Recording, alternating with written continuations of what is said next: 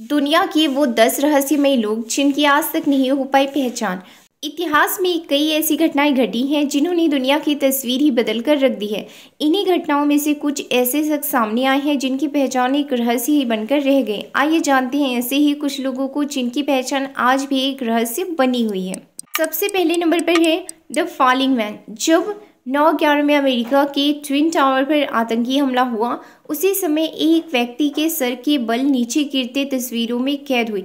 इस व्यक्ति की तस्वीर पूरी दुनिया में छा गई, पर गिरने वाले की आज तक पहचान नहीं हो पाई है। कुछ लोगों के अंदाजे के मुताबिक सर के बल नीचे गिर रहे व्यक्ति का नाम जोनाथन ब्राइबले था, जो रेस्टोरेंट में काम करता था, पर आधिकारिक रूप से इसकी कभी पुष्टि नहीं हो पाई है। इसके बाद दूसरे नंबर पर है, द हिरोशिमा स्टैचू शैडो। द्वितीय विश्व युद्ध के दौरान जब हिरोशिमा पर परमाणु हमला हुआ तो तीन लाख लोग एक झटके में मौत के मुँह में समा गए ये तस्वीर धमाके वाली जगह से 850 फीट की दूरी पर खींची गई, जहाँ कोई व्यक्ति बैठा हुआ था, पर परमाणु बम की ताकत ने उसे पूरी तरह से मिटा दिया। सिवाय उसकी परछाई के, इस शायक की वास्तविकता की कभी पहचान नहीं हो पाई कि वो कौन था। मुस्कान के साथ सीन नदी में मृत मिली अनजान लड़की। इस लड़की की पहचान कभी नहीं हो पाई। ये कौन थी? इसके चेहरे पर मौत का कोई भय नहीं था। ना ही कोई इसके चेहरे पर असंतोष था, बल्कि इसके चेहरे पर एक संतोष से भरी मुस्कान थी। इस लड़की की तस्वीरों को लोगों ने खरीदा और ये तस्वीरें सबसे पहले और सबसे ज़्यादा किश करने वाली तस्वीरों में से एक है। लड़की के चेहरे की तस्वीर से एक मूर्ति बनाई गई, जो उसी की तरह रहस्यमयी मुस्कान से भरी हुई है। चौथे नंबर पर है केविन कार्टन की तस्वीर। में दिखा सुडानी बच्चा। सुरानी की यात्रा पर निकली फ़ोटो जर्नलिस्ट केविन कार्टन की इस तस्वीर ने दुनिया में तहलका मचा दिया, जिसने मौत के द्वार पर झुके बच्चे की तस्वीर थी। इस तस्वीर के पीछे गिद्ध उसकी मौत का इंतज़ार करता दिखा। ये बच्चा कौन था, इसकी कभी पहचान नहीं हो पाई। इस तस्वीर ने तत्कालीन सूडान की बेबसी को दुनिया के सामने लाकर दुनिया में हदप्रव कर दिया। पाँचवें नंबर पर है माउंट एवरेस्ट पर मिली अनजान लोगों की शव ग्रीन बूटों वाली इस शव की कभी पहचान नहीं हो पाई। जो माउंट एवरेस्ट की चढ़ाई पर निकले व्यक्ति की थी। एवरेस्ट पर चढ़ने की शुरुआत सन उन्नीस से हुई। पर इस पहली बार 29 मई उन्नीस सौ तिरपन में एडमंड हिलेरी और तेजिंग नावी पहुँची। लेकिन इससे पहले कोशिश कर चुकी 200 लोगों की मौत हो चुकी थी। इनमें से कईयों की पहचान अब तक नहीं हो सकी है। छठवीं नंबर पर है यूक्रेन के विनित्सा में मारे गए आखिरी यहूदी की पहचान अब तक अज्ञात।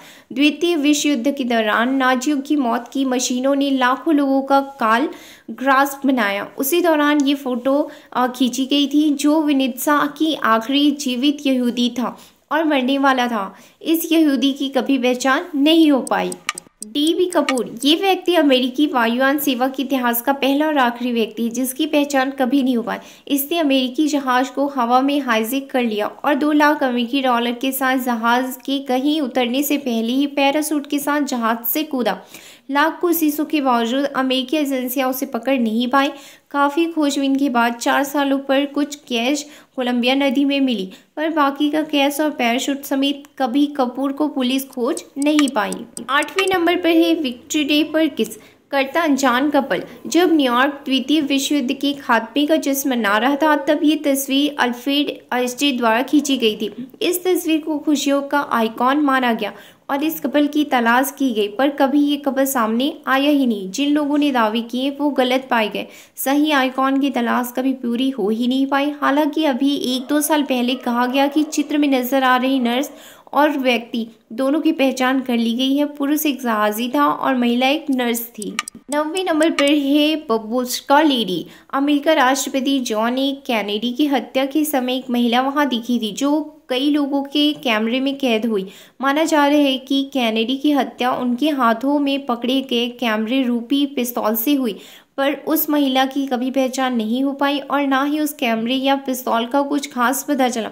बाद में एक महिला ने दावा किया कि वह उसी समय वहाँ पर थी। वहाँ यह साबित कर पाई। इसलिए आज तक की गुत्थी उलझी हुई है कि कैनेडो की हत्या किसी एक व्यक्ति ने की थी या उसके साथ कोई और था।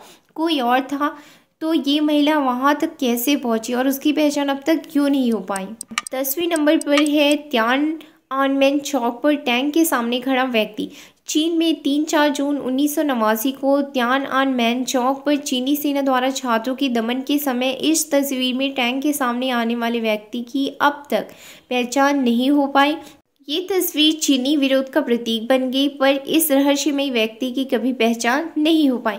ही गाइस, अगर वीडियो अच्छा लगा तो लाइक करना मत भूलिएगा, और ऐसे ही इंटरेस्टिंग और रहस्यमय वीडियोस के लिए इस चैनल को लाइक, सब्सक्राइब करना मत भूलिएगा। Thank you.